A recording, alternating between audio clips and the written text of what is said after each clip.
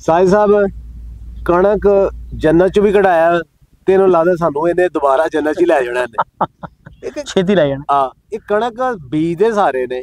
ਇਹਦਾ ਕੋਈ ਚੱਜ ਦੀ ਕਣਕ ਸਾਡੇ ਜ਼ਿਮੀਦਾਰਾਂ ਕੋਲ ਹੁੰਦੀ ਕੋਈ ਨਹੀਂ। ਉਹ ਆ 20 25 ਮਣ ਲੈ ਕੇ ਸਮਝਦੇ ਨੇ ਕਿ ਚਲ ਬਥੇਰੀ ਹੋ ਗਈ ਹੈ। ਕੀ ਕਰਨ ਕੀ ਹੁਣ? ਤੇ ਸਾਰਿਆਂ ਤੋਂ ਪਹਿਲੀ ਗੱਲ ਹੈ ਕਿ ਸਾਡਾ ਜ਼ਿਮੀਦਾਰ ਜਿਹੜਾ ਨਾ ਪੜਨ ਨੂੰ ਤਿਆਰ ਨਹੀਂ ਤੇ ਦੂਜੀ ਗੱਲ ਹੈ ਹਕੂਮਤ ਉਹਨਾਂ ਨੂੰ ਪੜਾਉਣ ਨੂੰ ਤਿਆਰ ਨਹੀਂ। ਤੀਸਰੀ ਗੱਲ ਇਹ ਵੀ ਕਿ ਖਾਦਾਂ ਰੱਜ ਕੇ ਦੋ ਨੰਬਰ ਮਿਲ ਰਹੀਆਂ ਨੇ, ਜਿਹੜੀਆਂ ਮਿਲਦੀਆਂ ਨੇ, ਉਹ ਮਹਿੰਗੀਆਂ ਬੜੀਆਂ ਮਿਲਦੀਆਂ ਨੇ। ਤੁਸੀਂ ਇਹ ਵੇਖ ਲਓ ਕਿ ਯੂਰੀਆ ਸਾਡੇ ਐਤਕੀ ਜ਼ਿਮੀਦਾਰ ਨੂੰ ਧੱਕੇ ਖਾ ਕੇ ਲੱਭੀ।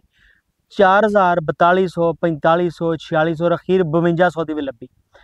ਸਰਕਾਰੀ ਰੇਟ ਜਿਹੜਾ ਹੈਗਾ ਸੀ, ਉਹ ਹੈਗਾ ਸੀ 3600 ਰੁਪਏ ਦਾ 3700 ਰੁਪਏ ਦਾ।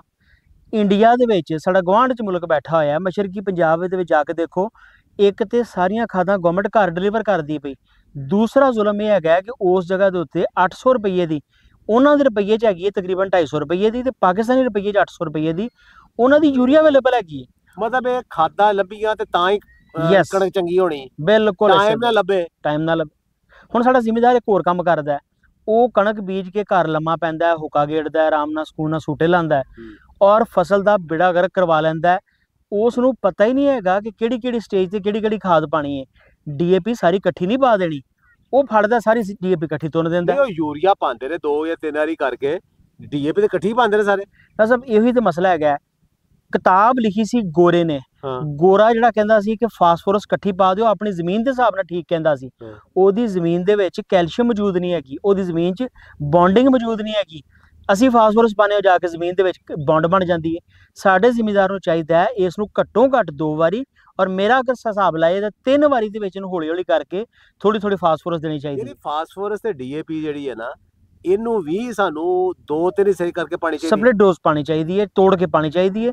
ਜੇ ਤੋੜ ਕੇ ਪਾਵਾਂਗੇ ਨਾ ਤੇ ਹਰ ਵਾਰੀ ਦੇ ਉੱਤੇ ਬਹੁਤੀ ਮਿਲੇਗੀ ਔਰ ਲਿਟਰੇਚਰ ਕਹਿੰਦਾ ਹੈ ਕਿ 65 ਦਿਨ ਦੀ ਉਮਰ ਤੋਂ ਪਹਿਲੇ ਪਹਿਲੇ ਫਾਸਫੋਰਸ ਪਾਈ ਦਾ ਫਾਇਦਾ ਹੁੰਦਾ ਹੈ। ਔਰ ਜਿਹੜੇ- ਬਹੁਤ ਸਾਰੇ ਸਾਡੇ ਸਾਇੰਸਦਾਨ ਹੁਣੇ ਕਹਿੰਦੇ ਨੇ ਕਿ ਜ਼ਮੀਨ ਦੇ ਵਿੱਚ ਤੇ ਤੁਹਾਡੇ ਫਾਸਫੋਰਸ ਬਥੇਰੀ ਹੈ। ਤੋ ਜੰਮੀ ਫਾਸਫੋਰਸ ਜਿਹੜੀ ਨਾ ਸਾਡਾ ਬੈਕਟੀਰੀਆ ਲਓ ਇਹ ਲਓ ਤੇ ਉਹਨੂੰ ਕੱਢ ਲਓ, ਹੋਰ ਨਾ ਪਾਓ। ਉਹ ਕੀ ਜ਼ਮੀਨਦਾਰ ਨੂੰ ਸਮਝ ਨਹੀਂ ਲੱਗਦੀ ਕਿਵੇਂ ਉਹ ਕੱਢੇ, ਕਿਵੇਂ ਉਹ ਜਿਹੜੀ ਬਾਉਂਡ ਹੈ, ਉਹਨੂੰ ਕਿਵੇਂ ਕੱਢੇ ਤਾਂ ਕਿ ਫਸਲ ਨੂੰ ਲੱਗ ਜਾਏ ਡਾਕਟਰ ਸਾਹਿਬ ਤੁਸੀਂ ਉਹ ਮੌਜੂਦ ਛੇੜਿਆ ਜਿਹੜਾ ਮੇਰੇ ਦਿਲ ਦੀ ਆਵਾਜ਼ ਹੈਗੀ ਹੈ। ਮੈਂ ਹਮੇਸ਼ਾ ਇਸ ਤੇ ਚੀਖਦਾ ਰਹਿਣਾ ਵਾਂ। ਲੇਕਿਨ ਉਸ ਤੋਂ ਪਹਿਲੇ ਮੈਂ ਤੁਹਾਨੂੰ ਇੱਕ ਹੋਰ ਮਿਸਾਲ ਵੀ ਦਿਆਂਗਾ ਕਿ ਸਾਡੇ ਇੱਕ ਦੋਸਤ ਨੂੰ ਨਾ ਦਿਲ ਦਾ ਮਸਲਾ ਹੋ ਗਿਆ ਤੇ ਡਾਕਟਰ ਕੋ ਗਿਆ। ਡਾਕਟਰ ਨੇ ਉਹਨੂੰ ਆਖਿਆ ਕਿ ਇਹਦੇ ਤੈਨੂੰ ਨਾ ਰੋਜ਼ਾਨਾ ਅੱਧਾ ਘੰਟਾ ਐਕਸਰਸਾਈਜ਼ ਕਰਨੀ ਪੈਣੀ ਹੈ। ਇੰਨੀ ਜੋਗਿੰਗ ਕਰਨੀ ਪੈਣੀ ਹੈ ਇੰਨਾ ਯੋਗਾ ਕਰਨਾ ਪੈਣਾ ਰੋਟੀ ਆ ਛੱਡ ਦੇਣੀ ਆ ਖਾ ਲੈਣੀ ਹੈ ਮਿੱਠਾ ਛੱਡ ਦੇ ਫਲਾਣਾ ਖਾ ਲੈ। ਜਦੋਂ ਉਹਨੇ ਕੋਈ 10-15 ਮਿੰਟ ਸੁਣ ਲਿਆ ਕਿ ਡਾਕਟਰ ਸਾਹਿਬ ਕੋਈ ਗੋਲੀ ਨਹੀਂ ਹੈਗੀ। ਜੇ ਮੈਂ ਗੋਲੀ ਖਾ ਲਵਾਂ ਤੇ ਮੇਰਾ ਜਾਨ ਛੁੱਟ ਜਾਏਗੀ। ਤਰੀਕੇ ਸਾਡੇ ਕੋਲ ਮੌਜੂਦ ਹੈਗੇ ਨੇ ਕਿ ਖਾਦ ਸਸਤੀ ਕਿਹੜੀ ਹੋ ਸਕਦੀ ਹੈ ਬਿਹਤਰ ਕਿਹੜੀ ਹੋ ਸਕਦੀ ਹੈ? ਫਾਸਫੋਰਸ ਸਾਡਾ ਜ਼ਿਮੀਦਾਰ ਐਂਡ ਤੇ ਕਹਿੰਦਾ ਮੈਨੂੰ ਗੋਲੀ ਦੇ ਦਿਓ। ਉਹਨੂੰ ਫਿਰ ਬੋਰੀ ਦੇ ਚ ਬੰਦ ਕਰਕੇ ਡੀਏਪੀ ਤੇ ਯੂਰੀਆ ਦਿਆਂਗੇ ਤਾਂ ਸਵਾਦ ਆਏਗਾ। ਔਰ ਯਕੀਨ ਕਰੋ ਸਾਡੀ ਜ਼ਮੀਨ ਦਾ ਸਾਡੇ ਨਿਊਟ੍ਰੀਐਂਟ ਦਾ ਸਾਡੇ ਮਾਹੌਲ ਦਾ ਇਸ ਨੇ ਬੇੜਾ ਗਰਕ ਕਰਕੇ ਰੱਖ ਦਿੱਤਾ ਹੈ।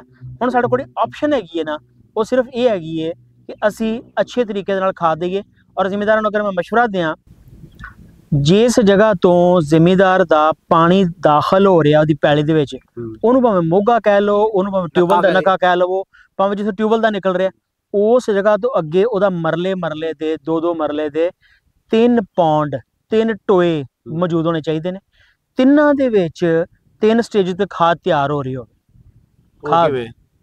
ਖਾਦ ਤਿਆਰ ਕਰਨ ਦਾ ਤਾਂ ਮਜ਼ਾ ਹੈ। ਜੋ ਆਪਣੀ ਖਾਦ ਤਿਆਰ ਕਰਨ ਦਾ ਮਜ਼ਾ ਹੈ ਤੁਹਾਡੀ ਆਪਣੇ ਘਰ ਆਪ ਜੋ ਰੂੜੀ ਹੁੰਦੀ ਹੋਰ ਕਿਹੜੀ ਹੁੰਦੀ? ਜੀ ਉਹੀ ਦੱਸਣ ਲੱਗਾ।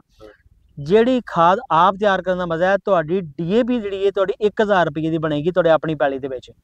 ਨੰਬਰ 1 ਸਾਰੇ ਉਹ ਛਾਵਾਂ ਜਿਹੜੀਆਂ ਕਦੇ ਬੂਟੇ ਦਾ ਤੇ ਡੰਗਰ ਦਾ ਹਿੱਸਾ ਰਹੀਆਂ ਨੇ। ਹਾਂ। ਬੂਟੇ ਦਾ ਤੇ ਡੰਗਰ ਦਾ ਹਿੱਸਾ। ਮਸਲਨ ਪੱਤੇ ਰਹੇ ਨੇ ਜੜਾਂ ਰਹੀਆਂ ਨੇ ਫਲ ਨਿਕਲਿਆ ਰਿਹਾ ਬੀ ਹੋਇਆ ਜ਼ਾਇਆ ਹੋਇਆ ਡੰਗਰ ਦਾ ਦੁੱਧ ਤੋਂ ਲੈ ਕੇ ਗੋਹੇ ਤੋਂ ਲੈ ਕੇ ਉਹਦੀ ਖਲ ਚਰਬੀ ਤੋਂ ਲੈ ਕੇ ਉਹਦਾ ਖੂਨ ਤੋਂ ਲੈ ਕੇ ਹਰ ਸ਼ਖਸ ਟੋਏ ਦੇ ਵਿੱਚ ਪਾ ਦੁਨੀਆ ਤੋਂ ਤੇ ਕਰਦੇ ਨੇ ਜਿਹੜਾ ਉਹ ਪਿਸ਼ਾਬ ਸ਼ੂਬ ਕਰਦਾ ਹੈ ਸਾਰਾ ਕਰਦਾ ਹੈ। ਉਹ ਵੀ ਉਹਨੂੰ ਰੋੜ ਕੇ ਲੈ ਕੇ ਤਾਂ ਜ਼ਬਰਦਸਤ। ਫਰਮੈਂਟਰ ਬਣਾਏ ਨੇ ਉਹ ਚ ਪਾ ਲੈਂਦੇ ਨੇ ਜ਼ਬਰਦਸਤ ਜ਼ਿਮੀਦਾਰ ਕੀ ਕਰੇ ਉਹਨੂੰ ਜ਼ਿਮੀਦਾਰ ਉਹਦੇ ਉਸ ਇਕੱਠਾ ਕਰੇ ਉਹਨਾਂ ਦੇ ਤੇ ਬੜੇ ਵੱਡੇ ਵੱਡੇ ਫਾਰਮ ਹੁੰਦੇ ਨੇ ਉਹ ਕਰ ਲੈਂਦੇ ਨੇ ਤੇ ਇੱਕ ਅੱਧਾ ਡੰਗਰ ਹੈ। ਉਹਦੇ ਪਿਸ਼ਾਬ ਨੂੰ ਕਿੱਥੋਂ ਸਾਂਭਦਾ ਫਿਰ ਕਿਵੇਂ ਕੀ ਕਰੇ ਉਹਨੂੰ ਉਹਦੇ ਪਿਸ਼ਾਬ ਨੂੰ ਜਿਸ ਜਗ੍ਹਾ ਜ਼ਮੀਨ ਤੇ ਜਜ਼ਬ ਹੋਣ ਡਿਆ ਨਾ। ਉਸ ਜਗ੍ਹਾ ਤੇ ਮਿੱਟੀ ਵਾਲੀ ਜਿਹੜੀ ਥੱਲੇ ਵਾਲੀ ਉਹਨੂੰ ਇਕੱਠਾ ਕਰਕੇ ਵਿੱਚ ਪਾ ਦੇਵੇ ਠੀਕ ਹੈ ਇਹ ਤਾਂ ਸਭ ਤੋਂ ਸੌਖਾ ਤਰੀਕਾ ਹਾਂ। ਔਰ ਇਹ ਕਿਹੜਾ ਰੋਜ਼ ਪਾਣਾ ਹੈ? ਹਾਂ। 3 ਮਹੀਨੇ 4 ਮਹੀਨੇ 5 ਮਹੀਨੇ ਬਾਅਦ ਉਹ ਮਿੱਟੀ ਔਰ ਸਾਰਾ ਕੁਝ ਇਕੱਠਾ ਕੀਤਾ। ਤੇ ਜੇ ਕੋਈ ਥੋੜਾ ਜਿਹਾ ਸਿਆਣਾ ਜਾਂ ਮਿਹਨਤੀ ਜ਼ਿੰਮੇਦਾਰ ਹੈਗਾ ਉਹ ਹਫ਼ਤੇ ਪਿੱਛੋਂ ਵੀ ਇਕੱਠਾ ਕਰ ਸਕਦਾ। ਅੱਛਾ ਉਹ ਉੱਤੋਂ ਤੋਂ ਉੱਤੋਂ ਤੋਂ ਝਾੜ ਲਓ ਇੰਚ ਕੁ ਦੀ ਇੰਚ ਕੁ ਦੀ ਮਿੱਟੀ ਚੁੱਕ ਚਾੜ ਕੇ ਜਾ ਕੇ ਉੱਤੇ ਟੋਏ ਚ ਪਾ ਦਿਓ ਨਾਲ। ਬਿਲਕੁਲ ਇਸੇ ਉਹਦੇ ਉੱਤੇ ਪਾਣੀ ਰੁੜ ਕੇ ਜਾਏਗਾ ਉਹ ਨਾਲ ਘੋਲ ਘੋਲ ਕੇ ਨਾਲ ਲੈ ਜਾਏਗਾ ਉਹਦੇ ਵਿੱਚ ਕੁਛ ਹੈ ਬੈਕਟੀਰੀਆ ਵੀ ਪਾਣਾ ਕੁਛ ਹੈ ਪਾਣੀ। ਬਿਲਕੁਲ। ਇਹ ਹੁਣ ਜ਼ਿਮੀਂਦਾਰਾਂ ਨੂੰ ਦੱਸਣਾ ਜ਼ਰੂਰੀ ਹੈਗਾ ਕਿ ਕੱਲੀ ਉਹ ਖਾਦ ਕਾਫੀ ਨਹੀਂ ਹੈਗੀ ਜਿਹੜੀ ਉਸ ਵਿੱਚ ਪਾ ਦਿੱਤੀ ਅਸਲ ਉਹਦੇ ਵਿੱਚ ਕਰਨਾ ਕੀ ਹੈ। ਇੱਕ ਤੁਸੀਂ ਟੋਇਆ ਮਾਰ ਲਿਆ ਇੱਕ ਮਰਲੇ ਦਾ। ਡੂੰਗਾ ਕਿੰਨਾ ਹੈਗਾ? 300 3.5 ਫੁੱਟ ਦਾ 4 ਫੁੱਟ। ਬੰਦਾ ਨਾ ਡੁੱਬ ਜਾਵੇ ਵਿੱਚ ਉਹਦੇ। ਇੰਨਾ ਕੁ ਡੂੰਘਾ ਹੋਣਾ ਚਾਹੀਦਾ। ਕੋਈ ਬੰਦਾ ਡਿੱਗ ਪਵੇ ਤੇ ਮਰਲੇ ਦਾ? ਇੱਕ ਮਰਲੇ ਦਾ। ਛੋਟਾ ਜਿਹਾ ਐਵੇਂ, ਅਹ, 272 ਫੁੱਟ ਦਾ। ਅੱਛਾ ਉਸ ਦੇ ਵਿੱਚ ਤੁਸੀਂ ਕੀ ਕਰਨਾ ਹੈ ਜੀ? ਗੋਇਆ ਪਾਤਾ ਸਾਰੀ ਸ਼ਾਵਾਂ ਪਾਤੀਆਂ। ਅਗਲੀ ਛਾੜੀ ਪਾਣੀ ਹੈ। ਪੁਰਾਣੇ ਬੋਰਡ ਦੇ ਥੱਲੇ ਦੀ ਮਿੱਟੀ ਜਾਂ ਕੋਈ ਵੀ ਦਰਖਤ। ਉਹ ਪੁਰਾਣੇ ਦਰਖਤਾਂ ਕਿਉਂ ਕਹਿੰਦੇ ਆ ਕਿ ਉਹਦੇ ਥੱਲੇ ਸਪਰੇਅ ਨਹੀਂ ਕੀਤੇ ਹੁੰਦੇ। ਉਹਦੇ ਥੱਲੇ ਭੈੜੀਆਂ ਰਕਤਾਂ ਨਹੀਂ ਕੀਤੀਆਂ ਹੁੰਦੀਆਂ ਜ਼ਹਿਰ ਨਹੀਂ ਪਾਏ ਹੁੰਦੇ। ਉਹ ਥੋੜੀ ਮਿੱਟੀ ਲੱਭਦੀ ਚ ਬੈਕਟੀਰੀਆ ਬੜੇ ਹੁੰਦੇ ਨੇ। ਅੱਛਾ ਅੱਛਾ ਅੱਛਾ ਅੱਛਾ ਅੱਛਾ। As a source of bacteria ਅਸੀਂ ਉਸ ਮਿੱਟੀ ਨੂੰ 5 ਕਿਲੋ ਮਿੱਟੀ ਜਿਹੜੀ ਹੈ ਨਾ ਉਸ ਟੋਏ ਚ ਉਹ ਪਾ ਦਿੱਤੀ। ਮਤਲਬ ਇਹ ਕਿ ਸਾਨੂੰ ਕਿਸੇ ਯੂਨੀਵਰਸਿਟੀ ਜਾਂ ਕਿਸੇ ਅਦਾਰੇ ਜਾਣ ਦੀ ਲੋੜ ਕੋਈ ਨਹੀਂ। ਬਿਲਕੁਲ ਜ਼ਰੂਰਤ ਤੁਸੀਂ ਨਹੀਂ ਹੈ ਪੁਰਾਣੇ ਦਰਖਤ ਦੇ ਥੱਲੇ ਜਿੱਥੇ ਤੁਹਾਨੂੰ ਪਤਾ ਹੈ ਇੱਥੇ ਸਪਰੇਅ ਸਪਰੂ ਕੋਈ ਨਹੀਂ ਹੁੰਦੇ। ਉਹ ਮਿੱਟੀ ਚੁੱਕ ਕੇ ਉਹ ਮਿੱਟੀ ਵਿੱਚ ਪਾ ਦਿਓ? ਬਿਲਕੁਲ ਉਹ ਇਸੇ ਟੋਏ 'ਚ ਕਿੰਨੀ ਕੁ ਮਿੱਟੀ ਪਾ ਦਈਏ? 5 ਕਿਲੋ ਬਥੇਰੀ ਹੈ 5 ਕਿਲੋ ਮਿੱਟੀ ਪਾ ਦਿਓ ਬੈਕਟੀਰੀਆ ਲੱਭ ਜਾਣਾ ਉਹਨੂੰ। ਬੈਕਟੀਰੀਆ ਹੁਣ ਬੈਕਟੀਰੀਆ ਨੂੰ ਵਧਾਉਣਾ ਹੈ ਬੈਕਟੀਰੀਆ ਨੂੰ ਖੁਰਾਕ ਦੇਣੀ ਹੈ। ਉਹਨੂੰ ਨਾਲ 1 ਕਿਲੋ ਸ਼ੀਰਾ ਦੇਣਾ ਜਿਹੜਾ ਮੱਝਾਂ ਨੂੰ ਸ਼ੀਰਾ ਦਿੰਦੇ ਨੇ ਨਾ ਗੁੜ ਦਾ। 1 ਕਿਲੋ ਸ਼ੀਰਾ। ਤੇ ਕੋਈ ਲੋਕ ਤਾਂ ਯੂਰੀਆ ਵੀ ਪਾ ਦਿੰਦੇ ਨੇ। ਯੂਰੀਆ ਸਮਝ ਲਓ ਤੇਜ਼ ਕਰ ਦਿੰਦਾ ਹੈ। ਹਾਂ। ਯੂਰੀਆ ਆਖਰੀ ਛੱਟਾ ਲਾਈਦਾ ਹੁੰਦਾ ਹੈ। ਅੱਛਾ ਜਿਹੜਾ ਤੁਸੀਂ ਪਾਇਆ ਨਾ ਸ਼ੀਰਾ। ਇਸ ਨੂੰ ਨਾਲ ਬੈਕਟੀਰੀਆ ਖਾਣ ਵਾਸਤੇ। ਉਹਨੂੰ ਇੱਕ ਪਾਈਆ ਚਨਿਆਂ ਦਾ ਆਟਾ ਜਾਂ ਜਿਹਨੂੰ ਵੇਸਣ ਕਹਿੰਦੇ ਨੇ ਹਾਂ ਹਾਂ। ਉਹ ਵੇਸਣ ਵਿੱਚ ਪਾ ਦਿੱਤਾ। ਯਾਨੀ ਕਿ ਉਹ ਜਿਹੜਾ ਤੁਹਾਡਾ ਇੱਕ ਮਰਲੇ ਦਾ ਟੋਇਆ ਹੈ ਉਹਦੇ 'ਚ ਕਿਲੋ ਕੁ ਸ਼ੀਰਾ ਤੇ ਕਿਲੋ ਕੁ ਜਿਹੜੇ ਚਨੇ ਲਵੇਸਣ ਪਾਈਆ ਇੱਕ ਪਾਈਆ। ਚਨੇ। ਇੱਕ ਪਾਈਆ। ਪਾਈਆ ਚਨੇ ਕਾਫੀ ਹੈਗੇ ਨੇ ਉਹ ਬਥੇਰੇ ਨੂੰ ਵਿੱਚ ਪਾ ਦਿਓ। ਉਹ ਪਾਤੇ ਔਰ ਹੁਣ ਤੁਸੀਂ ਉਹਨੂੰ ਤੜਕਾ ਲਾਣਾ ਹੈ ਨਾ ਤੇ ਤੜਕਾ ਲਾਣਾ ਯੂਰੀਆ ਦੇ ਨਾਲ। ਦੋ ਮੁੱਠਾਂ ਯੂਰੀਆ ਯਾਨੀ ਕਿ ਅੱਧਾ ਕਿਲੋ ਯੂਰੀਆ। ਤੇ ਉਹਨੂੰ ਪਾਣੀ ਦਾ ਫੁੱਲ ਭਰਿਆ। ਔਰ ਉਸ ਤੋਂ ਬਾਅਦ ਉਹਨੂੰ ਪਾਣੀ ਨਾਲ ਭਰ ਕੇ। ਤੇ ਉੱਤੋਂ ਢੱਕ ਦੇਣਾ ਸ਼ਾਪਰ ਦੇ ਨਾਲ। ਤਾਂ ਕਿ। ਅੰਦਰੋਂ ਹਵਾ ਬਾਹਰ ਨਾ ਜਾਵੇ ਤੇ ਬਾਹਰ ਦੇ ਅੰਦਰ ਨਾ ਜਾਵੇ। ਅਸੀਂ ਮਤਲਬ ਜਿਹੜੀ ਉਹਦੀ ਹਵਾ ਜਿਹੜੀ ਹੈ ਨਾ ਉਸ ਉਹਨੂੰ ਆਕਸੀਜਨ ਨਹੀਂ ਚਾਹੀਦੀ। ਬਿਲਕੁਲ oxygen that is anaerobic anaerobic ਤਾਂ ਅਸੀਂ ਅਸੀਂ ਇੱਕ ਜਿਹੜਾ ਛਾਪਰ ਹੈ ਉੱਤੇ ਰੱਖ ਕੇ ਤੇ ਦੁਆਲੇ ਦੁਆਲੇ ਉੱਤੇ ਮਿੱਟੀ ਲਾ ਦੀ ਇੱਟਾਂ ਰੱਖ ਬਿਲਕੁਲ ਇਸੇ ਬੰਦ। ਕਰ ਦਈਏ ਉਹਨੂੰ। ਤੇ ਕਿੰਨੇ ਕੁ ਦਿਨ ਰੱਖਣਾ ਉਹਨੂੰ ਐਸਾ ਸਰਦੀਆਂ ਚ ਲੱਗ ਜਾਂਦੇ ਨੇ ਜੀ 15 ਤੋਂ 20 ਦਿਨ। ਤੇ ਗਰਮੀਆਂ ਚ 7ਵੇਂ ਦਿਨ ਨੂੰ ਰੂੜੀ ਅੰਦਰੋਂ ਪਾਟਣ ਨੂੰ ਫਿਰਦੀ ਹੈ ਹਾਂ। 7 ਦਿਨ ਦੇ ਵਿੱਚ ਰੂੜੀ ਨੇ ਬਬਲ ਮਾਰਨੇ ਨੇ ਬੁਲਬੁਲੇ ਮਾਰਨੇ ਨੇ ਅੰਦਰ ਤਿਆਰ ਉਸਨੇ ਹੋ ਜਾਣਾ। ਤਿੰਨ ਟੋਏ ਰੱਖਣ ਦਾ ਮਕਸਦ ਇਹ ਸੀ ਕਿ ਇੱਕ ਟੋਇਆ ਤਿਆਰ ਹੁੰਦਾ ਰਵੇ ਦੂਸਰਾ ਟੋਇਆ ਉਹਦੇ ਪਿੱਛੇ ਪਿੱਛੇ ਆਏ ਔਰ ਆਖਰੀ ਜਿਹੜਾ ਬਿਲਕੁਲ ਤਿਆਰ ਹੋ ਜਾਵੇ। ਹੁਣ ਤੁਹਾਡਾ ਖਾਲਾ ਜਿਹੜਾ ਨਾ ਉਹਦਾ ਪਾਣੀ ਉਸ ਟੋਏ ਦੇ ਵਿੱਚ ਡਿੱਗੇ। ਤੇ ਡਿੱਗ ਕੇ ਅੱਗੋਂ ਉਸ ਟੋਏ ਦੇ ਵਿੱਚੋਂ ਪਾਣੀ ਨਿਕਲ ਕੇ ਦੂਜੇ ਖਾਲੇ 'ਚ ਸ਼ਾਮਲ ਹੋ ਜਾਵੇ। ਅੱਛਾ ਅੱਛਾ ਮਤਲਬ ਤੁਸੀਂ ਉਹ ਉਹ ਕੱਢ ਕੇ ਵੱਖਰਾ ਨਹੀਂ, ਉਹ ਨਹੀਂ ਨਹੀਂ ਕਰਨਾ? ਨਹੀਂ ਨਹੀਂ ਨਹੀਂ ਬੜਾ ਉਹ ਜਿਹੜਾ ਪਾਣੀ ਨੱਕਾ ਹੈ ਖਾਲਾ ਤੁਸੀਂ ਤੋੜਨਾ ਹੈ ਉਹ ਪਾਣੀ ਡਿੱਗੇ ਉਹਦੇ 'ਚ? ਉਹ ਆਪੇ ਰਲਾ ਕੇ ਲੈ ਕੇ ਬਿਲਕੁਲ। ਔਰ ਚੰਗਾ ਰਲਾਣ ਵਾਸਤੇ ਜਾਣਾ। ਪੂਰਾ ਕਿਲਾ ਕਈ ਕਿੱਲੇ ਜੀ। ਅੱਛਾ ਰਲਾਣ ਵਾਸਤੇ ਇੱਕ ਬਾਂਸ ਰੱਖ ਲਈਦਾ। ਅੱਛਾ ਜਿਹੜਾ ਇਹ ਸਾਡਾ ਇੱਕ ਮਰਲੇ ਦਾ ਟੋਇਆ ਹੈ ਇਹਦੀ ਜਿਹੜੀ ਅਸੀਂ ਇਹ ਖਾਦ ਬਣਾਈ ਹੈ ਜੀ ਜੀ। ਇਹ ਕਿੰਨੇ ਕੁ ਕਿੱਲਿਆਂ ਵਾਸਤੇ ਕਾਫੀ ਹੈ? ਇੱਕ ਮਰਲੇ ਵਾਲੀ ਜਿਹੜੀ ਹੈ ਇੱਕ ਆਪਾਸ਼ੀ ਵਾਸਤੇ ਤਕਰੀਬਨ 13 ਕਿੱਲਿਆਂ ਵਾਸਤੇ ਖਾਦ ਕਾਫੀ ਹੁੰਦੀ ਜੇ। 13 ਕਿੱਲੇ? ਅੱਧਾ ਮਰਬਾ ਜ਼ਮੀਨ ਵਾਸਤੇ। ਤੁਸੀਂ ਤੋਂ ਪਾਣੀ ਪਾਣਾ ਉਹਨੇ ਸਾਰਾ ਦਾ ਸਾਰਾ ਕਿੱਲੇ ਨੂੰ ਹੀ ਪਾ ਦੇਣਾ ਉਹਦਾ ਤਰੀਕਾ ਹੁੰਦਾ ਜੀ। ਕਿ ਉਹਨਾਂ ਕੋ ਕਰੋ ਖਾਲਾ ਸਾਰਾ ਨਹੀਂ ਵਿੱਚ ਪਾ ਦੇਣਾ। ਖਾਲੇ 'ਚ ਛੋਟੀ ਜੀ ਖਾਲੀ ਕੱਢ ਕੇ ਵਿੱਚ ਪਾਈ ਦੀ ਹੈ। ਉਹ ਥੋੜਾ ਥੋੜਾ ਪਾਣੀ ਨਿਕਲ ਕੇ ਵਿੱਚੋਂ ਆਉਂਦਾ ਰਹਿੰਦਾ ਉਹਦਾ। ਤਾਂ ਕਿ ਇਹ ਹਿਸਾਬ ਰੱਖਣਾ ਹੈ ਕਿ ਤੇ ਜੇ ਜੇ ਅਸੀਂ ਉਹਦੇ ਚ ਕੂਲਰ ਲਈਏ ਵੱਡਾ ਬਹੁਤ ਅੱਛਾ ਜੀ। ਉਹ ਭਰ ਕੇ ਬਜਾਏ ਕਿ ਅਸੀਂ ਅਸੀਂ ਹਰ ਹਰ ਕਿੱਲੇ ਦੇ ਨਾਲ ਨੱਕੇ ਦੇ ਉੱਤੇ ਕਰਕੇ ਉਹਦੀ ਟੂਟੀ ਖੋਲ ਦਈਏ ਤਾਂ ਕਿ ਉਹਨੂੰ ਉਹਨੂੰ ਪੂਰਾ ਪੂਰਾ ਪਵੇ ਜਿਹੜਾ ਸਾਡਾ ਨਾ ਜ਼ਿਮੀਦਾਰ ਨਾ ਹੈਗਾ ਸੁਸਤ।